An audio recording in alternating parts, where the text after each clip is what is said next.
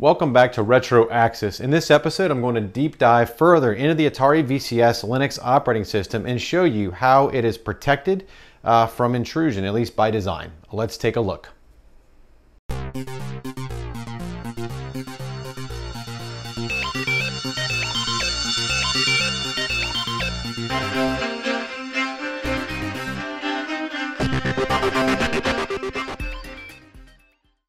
So if you remember from one of the earlier videos where I was just learning more about the Atari VCS and looking under the covers at the Linux distribution, we found out that it's based on a system called Apertis. And there was a few unanswered questions that I'm now going to dig into. So to begin, the first thing I want to do is explore partitions 5 and 6, explain to you what those are and what happens if you start tinkering around, and also tell you a little bit more about the tamper-proof uh, parts of this of this system. Uh, they did include some things in here that make the Atari VCS operating system somewhat tamper-proof, and I'll explain more to you in, about that here in just a second. So in this setup, I've got partitions 1, 2, 3, 4, 5, 6, 7, 8, and 9. I've got mount points ready, so I'm going to begin by mounting those and if you remember, that is dev mmc block, and you type in the partition number and match it up. So we're going to mount partition one, two, three, and 4. Remember, 1, 2, and 3 are EFI partitions. 4 is the VAR file system. 5 and 6 we'll get to in a second.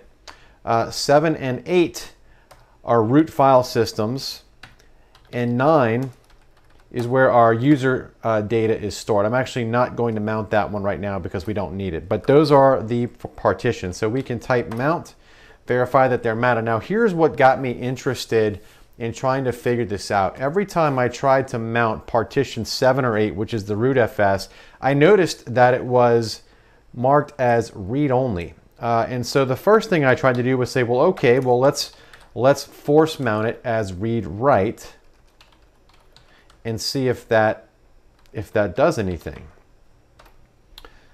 Um, and it would say cannot remount read write it is write protected. So I thought well that's interesting. Uh, then I remembered there's uh, file system flags that you can set. So we can take a look at that by running the tune2fs command and take a peek here and I'll show you. You'll notice here this is the root fs version 7 and under file system features, I found that the read-only flag is set. So what I began to do was say, well, what if I turn off the read-only flag? Will it let me mount it? So I did it. I did that. Tune2fs dash capital O and remove the flag. Read only. Okay. So I can verify that it removed it it's gone. It's no longer there. And I can now remount it.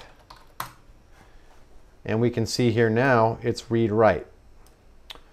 So now that it's read write, that means I can actually go into this file system and actually write a file. So as an example, I can create an empty file called test, and here it is. Now I couldn't do that before, and if I go to file system 8, you'll note that 8 is also a read-only and has that flag set. Okay, so if I try to go in there and touch the same file or create the same empty file, I'll get a read-only file system error, so that's expected. But knowing that I removed the flag and wrote the file, well now what happens? Well, if I go to reboot Atari VCS into that operating system, let me show you what happens. And this goes back to what file systems 5 and 6 are, and we'll come back and explore that in just a second. But let me show you what happens if you tamper with the Atari VCS Linux operating system. Uh, so it's going to reboot. You're going to see it pull up the Atari logo. By default, my Atari is booting directly into the VCS OS. And you'll note it's going to give an error. It actually went to a blank screen. If I hit escape, you'll notice here this error message, Verity device detected corruption after activation. So what does that mean? What did I do? And how do you fix this? So let me go ahead and reboot again. It's gonna actually do this a couple of times. It's got a, basically a timeout where it's gonna try it several times and after a certain number of retries or time, uh, the system decides that it can't boot, can't fix the problem, and just sends it to reboot as you saw in that error message. So I'm going to hold in escape, boot back into my Lubuntu Linux distribution.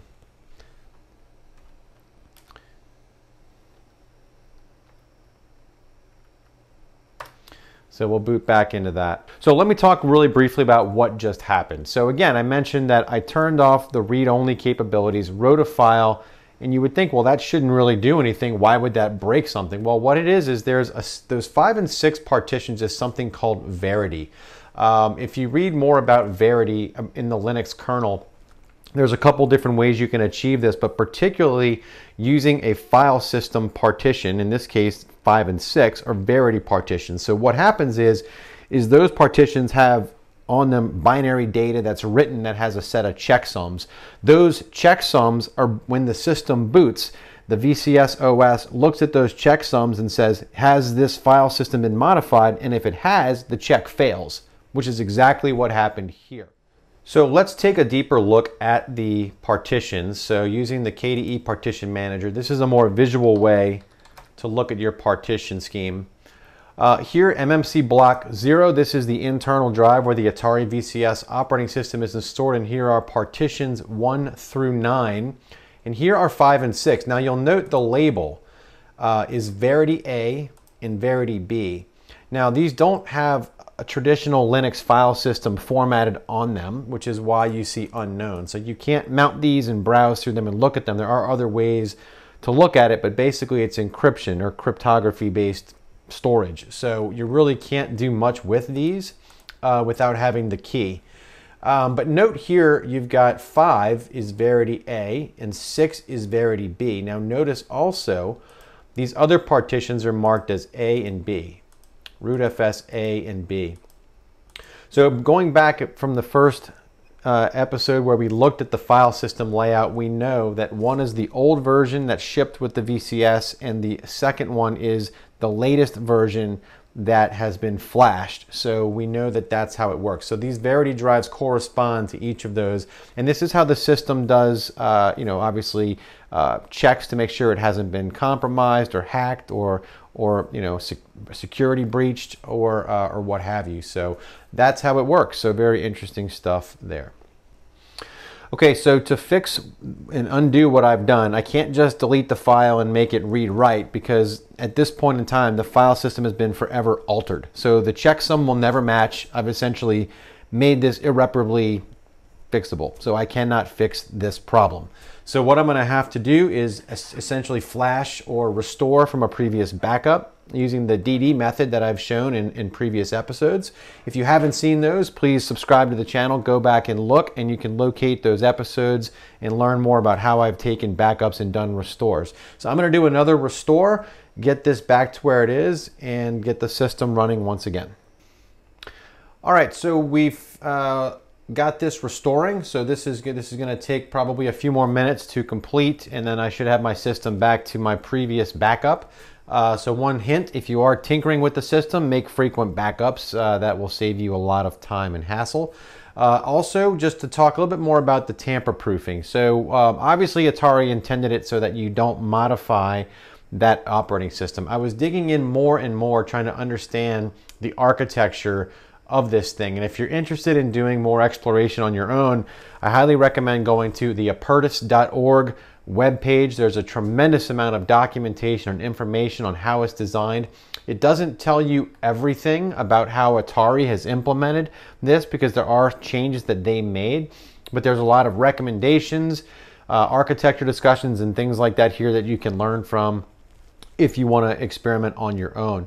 Uh, so going back to the tampering, uh, one of the things I did verify, you you can do anything you want on that partition 9. I mean, assuming you're not you know blowing things away and, and changing you know the application structure, uh, but you can write other things. You can try and write your own software. You can deploy other things on there. Uh, it seems to does it seems to not care about that drive at all. There's no checks or, or verification that's done on the storage drive. There's also no checks that I'm aware of that's done on partition 4, which is slash var. Uh, there's nothing there either. So those seem to be available for you to, to work with uh, should you want to do that. So that's it for today. I've learned quite a bit and I hope you have as well. Uh, this has been a lot of fun just tinkering and learning and seeing how this thing was designed. Um, certainly what I've done, you can replicate yourself with caution. Uh, be sure you do your research. Um, I spent a lot of time reading on the Apertis website, uh, finding out about the architecture, understanding you know how things work. Um, also learning about Verity file systems or, or Verity partitions or what's called uh, disk map or DM Verity. There's also something called FS Verity. So just learning about all these concepts. These are all things that while I'm an experienced Linux user, these are still concepts that are new to me. So I know I'm learning every day and I hope you are as well from this channel.